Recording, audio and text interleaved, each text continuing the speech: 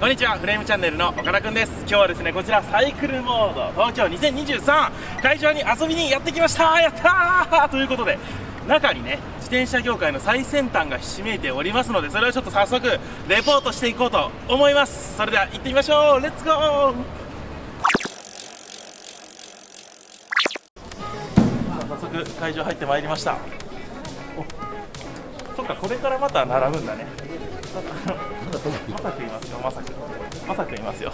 ほら看板に。あごめんなさい。あと思ったら奥平さん。あ大野様あのワイズロードの店長たちが並んでました。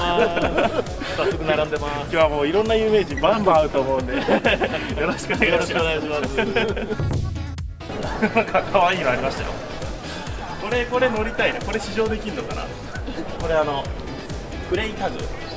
フライターグかなあのトラックのフォローを再利用したアイテムらしいです。すごい頑丈そうでこちらパナレーサーさんのブースなんですけど昨日発表でしたっけ？はい。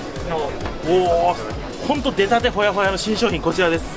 アジリストデューロチューブレスレディはい、はい、今までのデューロがさらにチューブレスになったってことですそういうことですね。なるほど。今までチューブレスレディのモデルってあのスタンダードのやつだけだったんですもんね、なるほどそれがあの耐パンク性能や耐久性の高いデューロのモデルでチューブレス出たと、これ具体的にはどういった感じに良くなったんですか？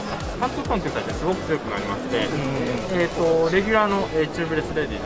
それに比べて2倍。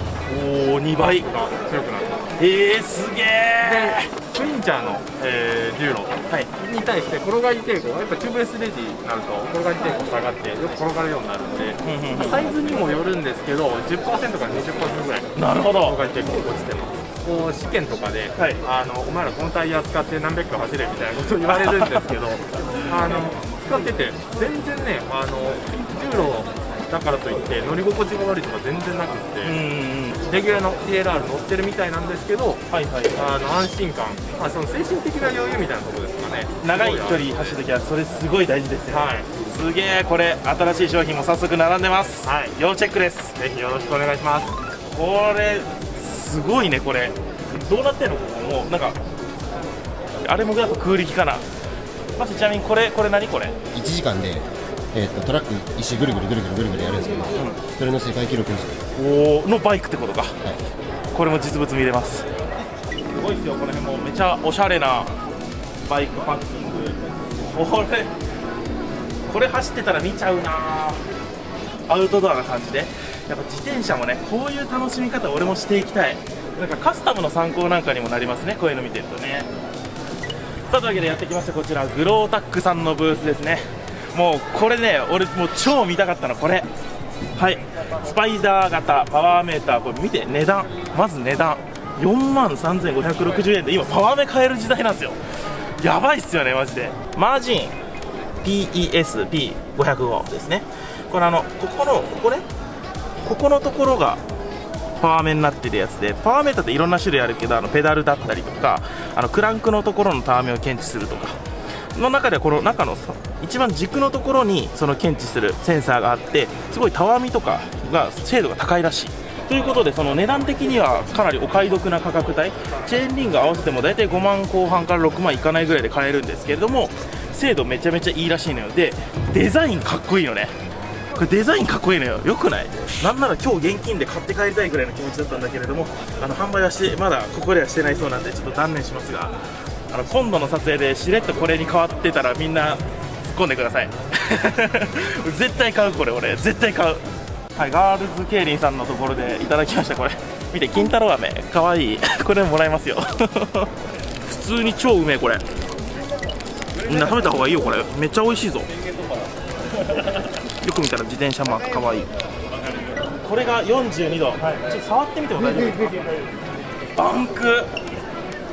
外から見たらちょっと俺もバームクーヘンにしか見えないんですけどすげえこの角度自転車で走って俺無理だわ。そうこういったのもね体験できたりしますとあ、えーっと、ちょわわざとらしいよ。わざとらしい。あ、かぶってこい。わざとらしい。かぶってこい。狙ってきたら今の。はいすいちょっとあの撮影の邪魔なんで。ちょっとちょっといやあのちょっと一般だからダメなんで。はいあのピスト6さん撮ってたらあのまさくんらに邪魔されました。最速で動画公開してあるからな。こいつらの悪行最速で動画公開してあるからなのブースにやってきました。こちらでですねガーミンこれはちょっと見たい。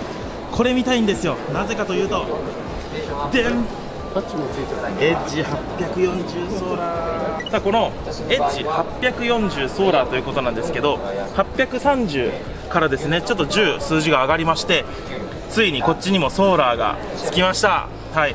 バッテリーがね見てくださいこれ。ソーラー充電プラス6時間なんですけど26たす6で30時間以上駆動すると。僕830をね今使ってるんですけどそれよりかなり伸びてます時間が。これ今までロング乗る人とかはねあの充電のこと結構気にしなきゃいけなかったんですけどそれ気にしなくてよくなったんでもう完璧な 完璧なサイコン出ましたついに。これ最新なんでぜひ皆さんチェックしてみてください。全部実機かな？あ実機だわ。え触触触れる。もうそれは触れるんだけど。でこれねタッチパネル今までよりすげえスムーズになってんだけど。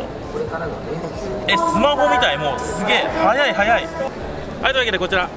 リドレーブース来たよー。はいというわけでね。ゆかりさんもいるよと。はい。今日ゆかりさんはサイクルモードの2日間ずっといるの？そうです出店者としてリドレーブースに2日間立たせていただきます。うん。はい、うんリドレーについてね私はいろいろ詳しいはずなので、はい、何か質問がある方ぜひお待ちしております。はい。でリドレーの歴史についてずっと書いてるパンフレット。あ本当だ。すっげえ。あすっげえ。になんと私も載っている。あ乗ってる。本当に乗ってる。さあというわけでねあのゆかりさんもいるのでぜひ最新のリドレーブースのバイク見ててください。はいお待ちしておりますトーテムさんですね。すげえたくさんすげえたくさんバイクあります。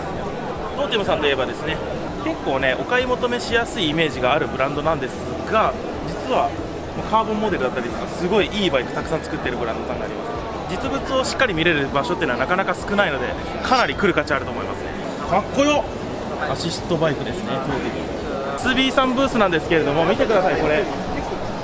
新製品発表会当日やるそうです。12時からまさにこのベールをかぶった状態で置かれてます。これこれ怒られるかな？これ。これこれ触ったら怒られるかな？っていったこともありますのでこれ会場来てみての発見がたくさんありますね。さあこちらですね。あの深谷さんとこのダボスのバイクになります。見てくださいこのビタミンカラーが可愛い感じ。これ新商品だそうで。これですねネオランドナーと言われましてあのそのランドナーの新形態というかあジオメトリーとかがなんか新しくなったものなんですけれどもダブル XS サイズ。サイズ展開。150センチの方でも乗れるサイズを用意しました。あそれはもう嬉しいですね。スライドエンドってことはあれですねあのシングル化もできるってことですか？シングルにしないおおこれはいこれいいのかな？芝生だけど。見てくださいこのようにシングルですね。すげえかわいいフラットバーでほらめちゃめちゃかわいいよこれ。ゼリービーンズめっちゃ入ってるこれ食べてもいいかなこれ。食べていいですよ。えいいんですか？ははい。ほんまに食べれる。ほんまに食べれるうま。っじゃあ岡田さんには特別に名古屋の駄菓子を。あ クッピーラムネもらいました。はい、というわけでこちら、はい、ダボスさんのブースでした。あのゼリービーンズとクッピーラムネ食べれます。困難がいいって希望一つください。困難がいい、えっ、とね、ご飯を美味しそうに食べる人。おおえ誰が得すんこの情報。そして関東からは岡田正隆さんの登場ですはい放送にですが彼にも来ていただけるかっこよい上司がサイコロジーにはありますさあというわけで一周ぐるっと回ってきました。いやちょっとね面白げなところをピックアップして今回はお伝えしようかなと思うんですけど会場の中まだまだたくさんブースありますのでぜひとも皆さん明日もやってますから見に来てくださいそれではまた次回の動画もお楽しみに。バイバイ。